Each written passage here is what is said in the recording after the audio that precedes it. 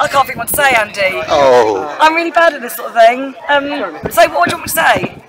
Okay, well, it's, it's absolutely wonderful to be here in the beautiful town of Exeter with a huge gathering of people that are all here to bring down the government and end austerity now. So well done to Exeter. See you in London on June the 20th. There you are, brilliant. Okay. There you go, you can Ah. do it. Ah.